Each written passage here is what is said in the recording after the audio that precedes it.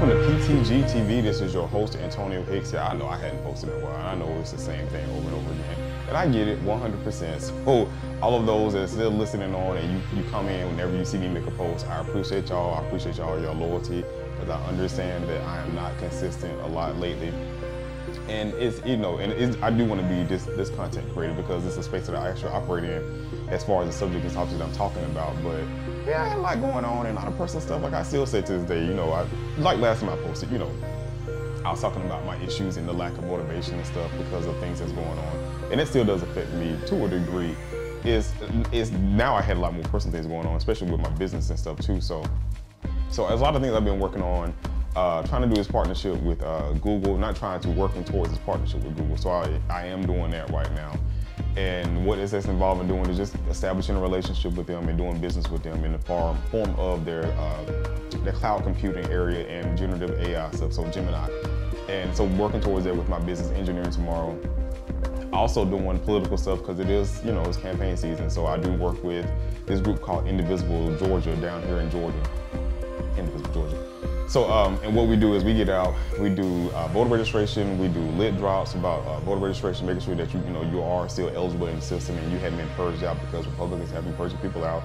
And I'm calling Republicans because it's a Republican state. Since y'all was going to talk about Democratic states, a Republican state, and they're trying to purge out voters that are actually active voters because they have people going on now that's been voting for the past two years. And then by the, the uh, Secretary of State office, they uh, say that the only way that you can get purged out of the system if you've been an inactive voter for, like, I think it's like a year to two years or whatever, but people have been active and they're still purging them out. So those kind of things and just getting out the, uh, about issues and policies that's affecting the average everyday person, which is what I talk about all the time when I start talking about politics is that, yeah, you want to be involved as far as federal level goes, but you want to be heavily involved when it comes to local stuff because that's what affects you in your personal life. That's what hits home faster and quicker than anything else that you can worry about on a federal level because, you know, you got your three branches of government has to go through. And it's the same thing locally, but at least you would get to see that effect quick, fast, and hurry rather than it getting done and passed in law up in the federal system and then got to get passed down to the states and the states could reject it, which Kemp does do that down here. The states could reject it and then it's a, it's a tip and tap battle going back and forth. But anyway, that's what I do with Indivisible. So, and then I've been out with uh, doing stuff for the Harris campaign because I am one. I put out that thing that said I was wrong. So, uh, you know, I've been doing stuff as far as being active with them and doing lit drops to assure that, you know, she gets in office, which she's going to get in office. So why are you out to support Kamala? Um, part of my other hobbies that I do is I mentor youth. And so I'm constantly, I coach football, I'm a scout leader, cub master, and so forth. And a lot of times I, am constantly telling my football players, my scouts, which are boys and girls, that you can always do what you put your mind to. And especially my daughters and the girls in the scout troops that I um, scout master over, constantly advising them that, hey, you can do this, you can do anything you mind to. Take a look at um, in 2008, where Barack Obama became the first African American in the White House. Uh, that just started the breaking, in my opinion, of the glass ceiling.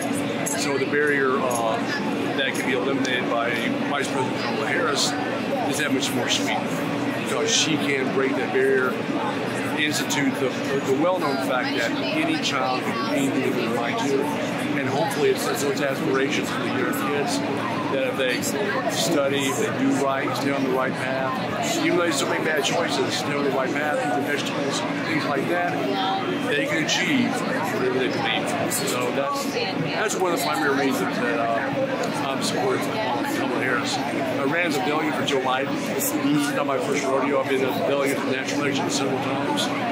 This is also my first year to be a presidential, presidential elector. I was in Georgia in December. So that's another reason I'm hopeful that I'm in the state of Georgia, so I can do that historic event for her as presidential elector in December. Thank you. So why are y'all excited to vote for Kamala? I'm excited to vote for Kamala because it'd be historic. I feel like, um, you know, we need uh, a black woman in the White House. Um, I'd like to have that there for my kids. You know, I've got uh, two girls. I've got a, a, transgender boy, and I want somebody there who respects people. I'm an immigration lawyer. I think Kamala can. I trust Kamala to protect immigrants, but also make the process orderly, uh, better for everybody. So I got a lot of reasons for being excited, but I just love Kamala, and I think she'd make a great president. Like Josh already mentioned, our youngest is a transgender boy. We also have two girls, and, and women's rights mean so much to us. And I'm, I'm so excited for the trajectory of this country if we can get back to more reasonable, more loving. The, the rhetoric lately has been so dangerous and so frightening for our future. So we're, we're hopeful. And you know, I love her, but a vote for Kamala is a vote against fascism. I seriously believe that Absolutely. Wins, um, our democracy is dead. He's already told us. I believe him. I Yeah. don't believe him for everything he says, but when he said that, I, I believe that. Yeah, because he wrote it down. Yeah, exactly. Thank y'all.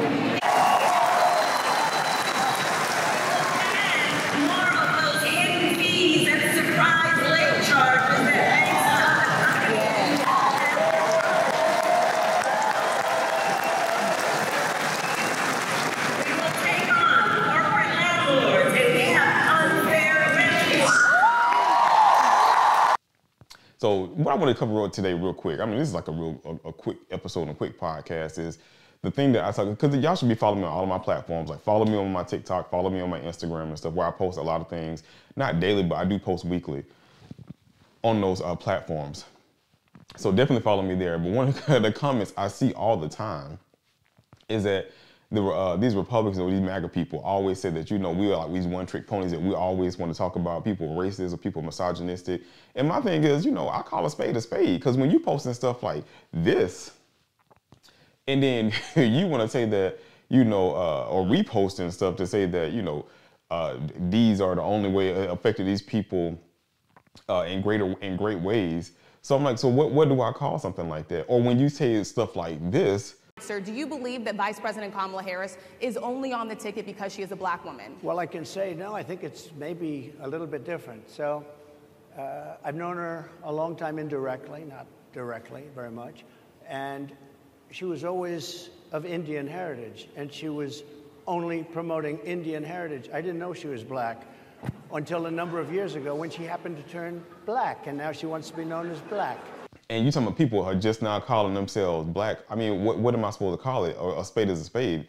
A horse is a horse. A racist is a racist. I'm like, I'm not, I don't, I'm not the person that calls everything that, uh, that other people do that's affecting black people racist stuff. But when you do racist things, I'm gonna call you a racist. I don't, because, you know, it is kind of is what it is. I'm not one of those people that want to always throw that out there and, and weaponize it. I'm not because they weaponize stuff against us all the time. And it's not this whataboutism thing. It's it's just the fact that I'm calling it for what it is. Especially when you come to me and tell me as a black man that 45 has done more for black men and more black people and black men especially. I say the fact is that I've done more for the black community than any president since Abraham Lincoln. I say it, nobody can dispute it. Nobody can dispute it. It's true. than any other president. And I'm like, well, give me a policy that that, that says that shows me that. I'm like, data is data. I'm like, I, you understand? I'm a data person. I'm an engineer, so I, I need data to prove that fact in that argument. Because you can't, you can say something blankly, but there has to be a policy or law that actually that corresponds with that to show this is what was put into place. And because this was put into place, it causes change in this avenue, and it allowed doors to be opened up for minority and black people to be able to uh, be to get jobs, especially in jobs they want to work in. But you don't do that. Or then when you turn around and say stuff like this, The fact is that his big kill on the black people is the millions of people that he's allowed to come in through the border. They're taking black jobs now. and all this stuff that you've all heard before, but when you're telling me that the only the, the migrants are coming over here and, and, and Biden and the Harris administration are allowing these migrants to come over here and they're taking all these black people jobs. Well, what black job? Again, I just told you I'm an engineer. You know how much education I had to get and studying I had to do become, I'm a network security engineer on top of that too, to become an engineer, in, in any form of engineering. It takes a lot of education and skill sets to be able to do that. You're trying to tell me that somebody that's randomly coming across the border is coming there, is taking my job? So I mean, if, if that's that's my job, and I'm only one of probably four or five black people in a team of like 30 to 35, and the rest of them are either Indian, white, or Asian. Well, then what are their jobs then? Because if I'm if they're coming and taking my job, well then what do you say about the people that's in that's working in the same job skill and in, the field that I'm working in? So there again, I have to call it for what it is, and I have to call people racist because that's exactly what they are, especially when they do things to show that they are racist. And it seems like this MAGA group over here, that's extremely what they thrive in. And uh, the other thing that pisses me off is that's what they always want to point out. And anyone say, well, you know that uh, he has been the greatest president. And then you have black people that supported him too. And they said, well, he um, he was the one that helped give us money and stimulus when we needed it. And I'm like, no, it wasn't because he didn't want to give you any money. I'm going for Trump. Not Republican, so I like JD Vance. I have to go Trump, man. Yeah. I have to. Or, or yeah, Trump. I'm running for Trump, so. I'm supporting Trump. Trump for the win. Tell me why. I can't really call that right now, but I just feel like she's not good for president. She's good vice, but not for the actual lead role for the country. Does it have anything to do with being a woman? No. Mm-mm. No, because I feel like women, mm, nah, not. Hey, bro, come on now, dog.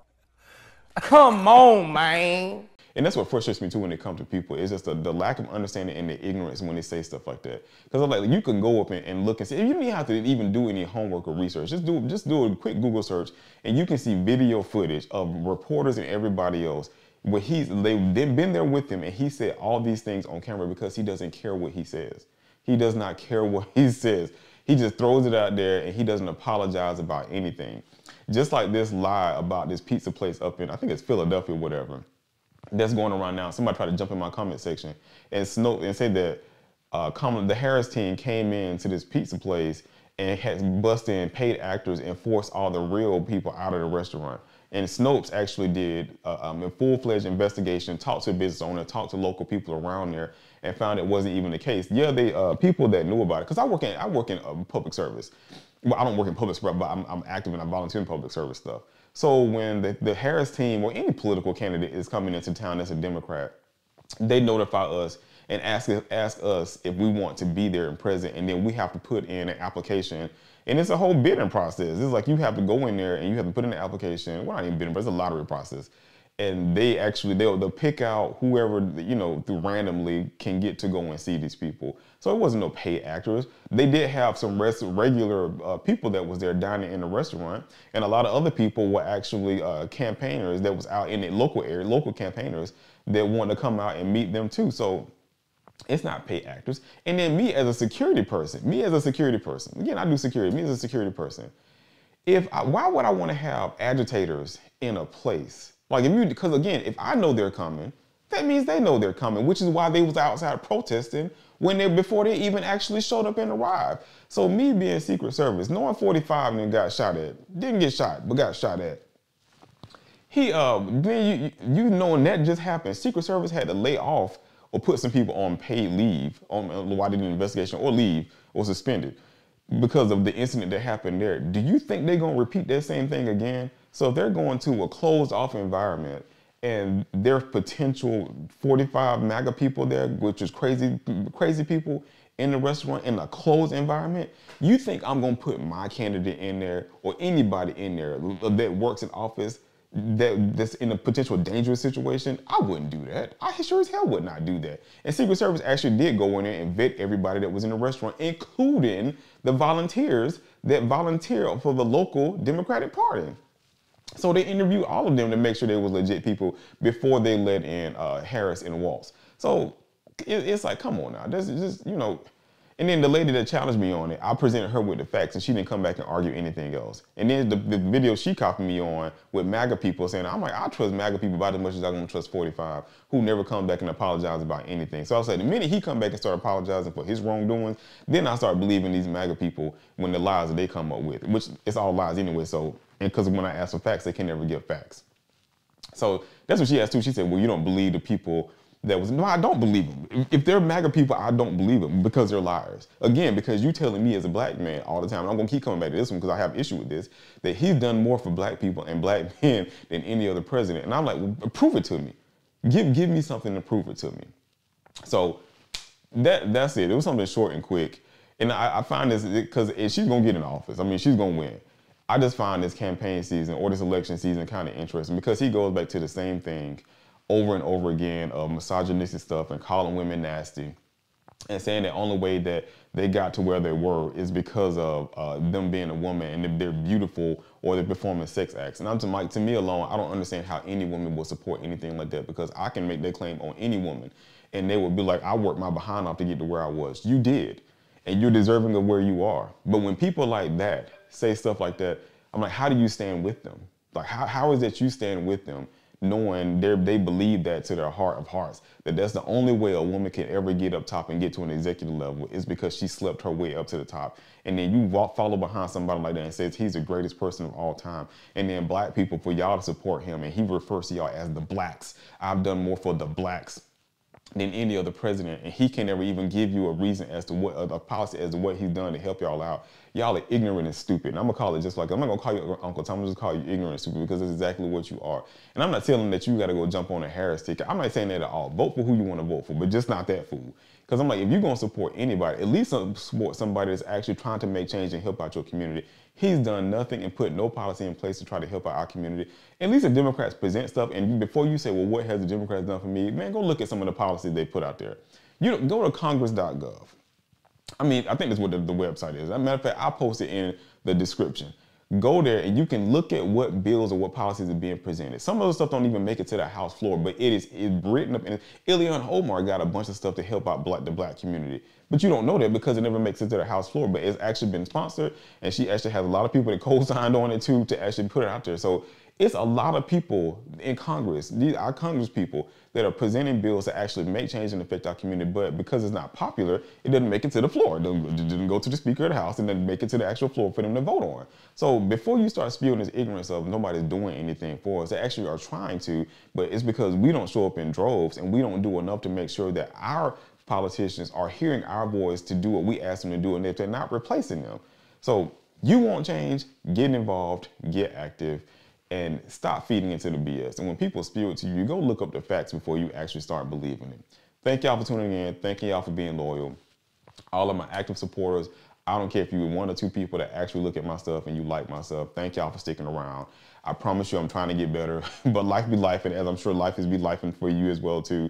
And this is a political season, so I'm heavily busy with that, and I'm trying to promote my business and push my business with engineering tomorrow, and then also trying to get another book because I'm planning about writing another book to get that started. And, you know, just trying to survive in this economy, which I am surviving this economy and make money the best way I can on top of with my debt my regular job. So thank y'all for being loyal. Thank y'all for coming to buy. Thank y'all all for the likes that I get, the shares that I get, the people just getting the views. All of y'all that follow me on all of my social media platforms and you like my stuff over there. Thank y'all. I love y'all. I appreciate y'all. I'm just doing what I do and I'm doing what I do out in these streets to get the voice out and the word out of the people's opinions and educate people the right way on how to do stuff and listen to stuff. I don't care if it's technology and I don't care if it's politics. Just me just trying to be an active person. So when I leave this world, I know I left something behind with me, and it's not just existing here. To be born, to be raised, to work, to die, and then have kids, and that's it, and I'm going. I will plan on leaving a legacy behind for my family and leaving a legacy behind for my name. That's, that's who I am. Antonio Hicks, that's exactly who I am. So thank y'all again. Love y'all. Until next time, be safe.